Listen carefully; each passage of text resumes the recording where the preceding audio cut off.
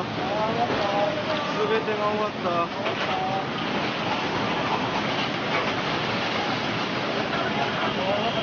全てが終わった On 22nd November 2016, at 5:59 a.m. local time, the magnitude 7.4 earthquake occurs at around 37 km from Fukushima, Japan. No deaths or major damage were reported. The Japan Meteorological Agency (JMA) mentioned that today's quake is an aftershock of the 2011 magnitude 9 earthquake which killed more than 15,000 people and destroyed the Fukushima Daiichi nuclear power plant. Therefore, another large earthquake could be expected within the next few days.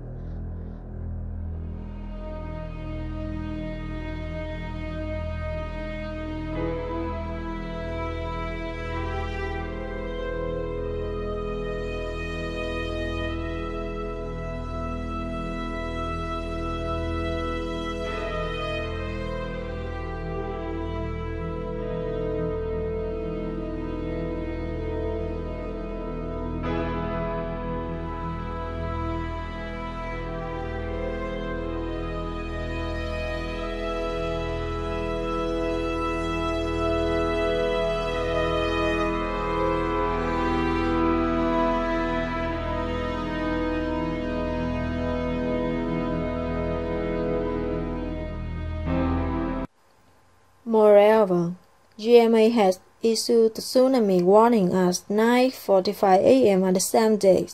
The warning allowed for the possibility of waves of up to 3 meters along the country's northeast Pacific coast, but the highest recorded wave of 1.4 meters were observed at Sendai Port shortly after 8 a.m. says nuclear plant operator TEPCO reported that it observed a tsunami at 6:34 a.m. Japan time at Onahama port. The meteorological agency says it observed a 60 centimeter tsunami. The earthquake and the tsunami warning system automatically issues alerts via television and cell phones shortly after the first less harmful shock waves were detected providing time for many people to prepare for the more powerful shock wave that follows. It also costs many energy and industrial facilities and transportation service to shut down automatically. So today we will discuss more about this system.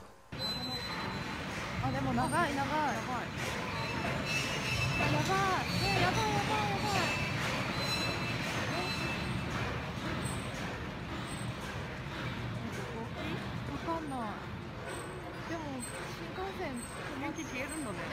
ね消えたね。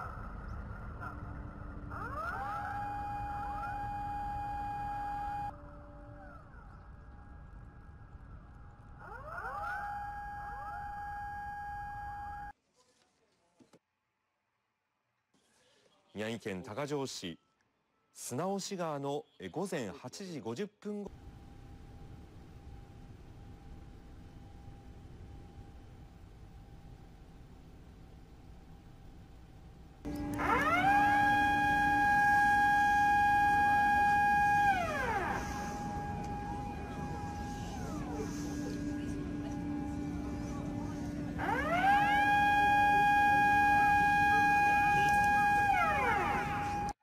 What is an earthquake early warning?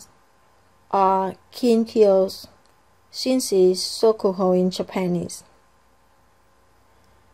The earthquake early warning system provides advance announcements of the estimated seismic intensities and expected arrival time of principal motions. These estimations are based on prompt analysis of the focus and magnitude of the earthquake using waves from data observed by seismograph near the epicenters. There are 4,235 seismometers in total throughout Japan. When two or three seismometers detect P waves, JMAs immediately analyze the readings and predicts the root area of the earthquake epicenter, then distributes the warning information to advanced users such as broadcasting stations and mobile phone companies before the arrivals of earthquakes. The earthquake early warning is aimed at mitigating earthquake-related damage by allowing countermeasures such as brownish slowing down strength, controlling elevators to avoid danger, and enabling people to quickly protect themselves in various environments such as factories, offices, houses, and near cliffs. However, the earthquake early warning also has some limitations, such as timing.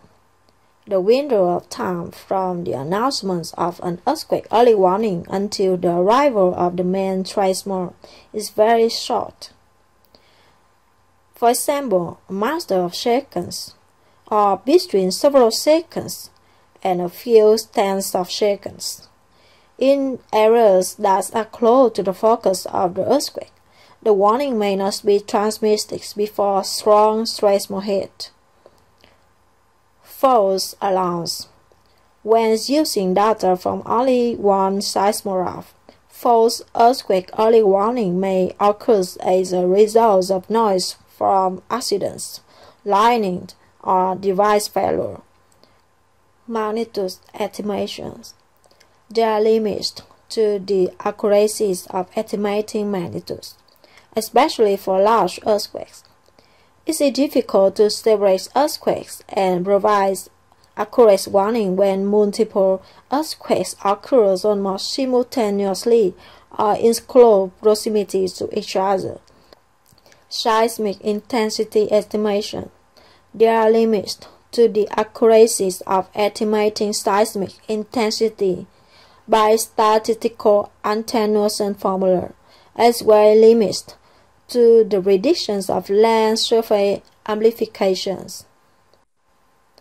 And what is an the tsunami warning or the tsunami advisory? When an earthquake occurs, JMA estimates the possibility of tsunami generations from seismic observation data if disastrous waves are expected in coastal region. JMA issues a tsunami warning or tsunami advisory for each region expected to be effective based on estimated tsunami height. JMA also issues information on tsunami details such as estimated arrival time and haste. JMA monitors tsunami as offshore gauges and issues information based on their measurements along with estimated haste in coastal area before tsunami hits the coast. Then warnings are updated probably if tsunami is expected to be higher than initially estimated. JMA issues tsunami warnings or tsunami advisories in five classes in relation to damage based on estimated tsunami height as over 10 meter, 5 to 10 meter, 3 to 5 meter, 1 to 3 meter, and 0.2 to 1 meter.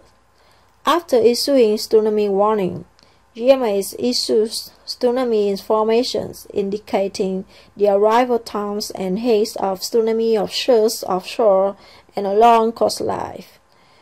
When the major tsunami warning or tsunami warnings is in effect, and offshore tsunami appears much smaller than estimated, JMA use the phrase closely observing rather than actual values to keep people aware that higher waves may still approach. Following is the flows of insurance of information about tsunami and earthquakes by JMAs. Immediately one and a half minutes after occurrence of the earthquake, seismic intensity information issues including regions with seismic intensity 3 or greater. Three minutes after occurrence of the earthquake, Earthquake information including hypocenter and magnitude is provided, as well as tsunami warning or tsunami advisory alert.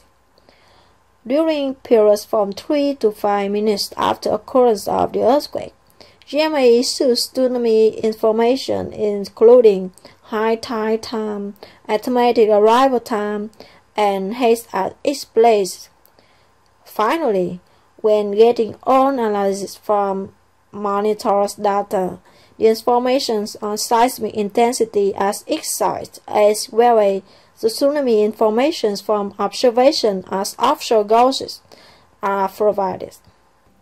As a conclusion, Japan has been famous as not only one of the world's most seismically active regions, with approximately 100,000 earthquakes every year, but also a home to the most sophisticated disaster technology.